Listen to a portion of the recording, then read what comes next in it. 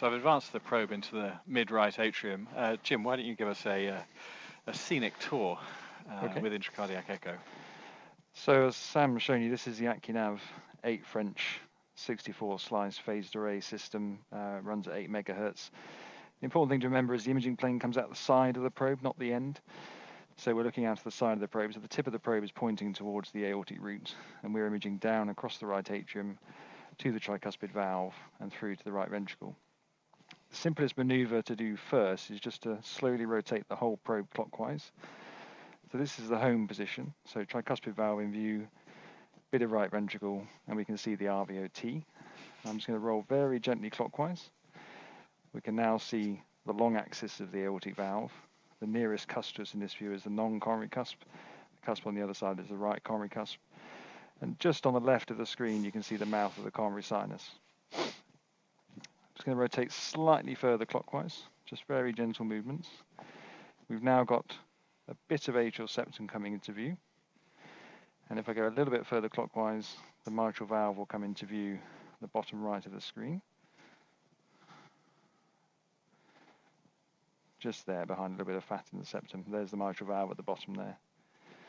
Left atrial appendage sits in the far field and is difficult to see from this window just gone past it there. And now we have the right, left, left upper and left lower pulmonary veins in view at the bottom right of the screen. We keep rolling clockwise. We then see the posterior wall of the left atrium. I'm just going to advance the probe slightly as I rotate further. Some fat in the secundum septum, septum here, slightly obscuring the view. The right pulmonary veins are just sitting there in the far field. SVC coming in at the top.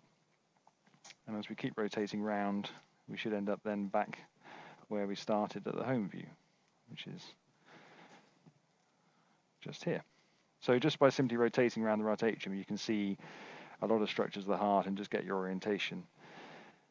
To see the atrial septum, you have to go clockwise from the home view, about 30 to 40 degrees past the aorta, and here's the atrial septum coming into view here. To help lift you away, you just put some posterior tilt on, which is rotating the most proximal wheel towards you, so usually just with your thumb, and you can make the septum quite horizontal there. And we can see this gentleman has a clear and obvious PFO. You can see the septum lifting off there. And you can rotate past it just to track round the sort of posterolateral aspect of the septum and rotate back round and really looking at the inferior septum here, making sure there's no other defects or problems. If we come back to the home view, the next maneuver you can do here is to see if you can enter the right ventricle and look at the left ventricle behind. We're just seeing some of the right coronary artery coming into view there, just around the tricuspid valve. So I'm just going to return to the home view and reset. Just caught up on the eustachian valve there. There we go. So now I'm going to put some anterior, tip the tricuspid valve over to the right hand side of the screen. Keep putting anterior on, just gently advancing the probe. And as long as the the thing at the far right hand side of the screen is, is black, you're safe to just gently advance. So we're just heading towards the tricuspid valve now. That's tricuspid valve in view. Quite a narrow tricuspid orifice here. We're just going to just gently advance and see if we can enter the right ventricle, which we have done there. It's important not to, to push too hard and just be relaxed and gentle. Once you're through the tricuspid valve, you can release the flexion we're now looking down through the tricuspid valve. We can see the anterior leaflet there, heading down towards an RV papillary muscle. And I'm just going to just fine tune the flexion, see if I can go a little bit further in. We're now in the body of the RV. And now I'm just going to relax the flexion. And then hopefully the probe will sit up into the RVOT, which it's trying to do here. So now we're looking at the RV free wall. Probably moderator band we're seeing on the right hand side of the screen there. And I'm just going to rotate clockwise. And what we should see coming into view next is part of the left ventricle. So we can see the septum there. So there's the left ventricle. And this is an unusual view because you're looking at the left ventricle through the septum and through the right ventricle. And because the ICE probe tends to rest up against the septum, you, you can look at the ventricle and see what looks like wall motion abnormalities, but they're not. It's just because uh, the relative motion of the probe to the septum is unusual and not what we're used to looking at.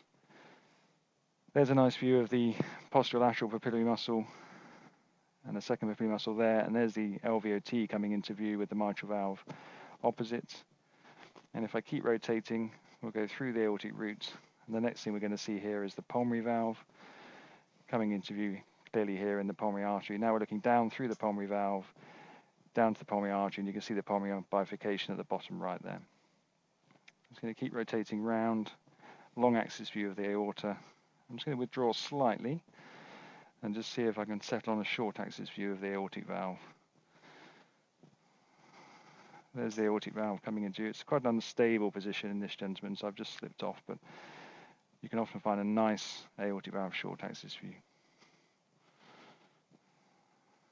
That's a long axis view of the aorta, which some people advocate using for, for TAVI procedures or paravalvular leak closure. I'm just going to slide back up into the right atrium now and return to our starting position. And there we are back in our home view.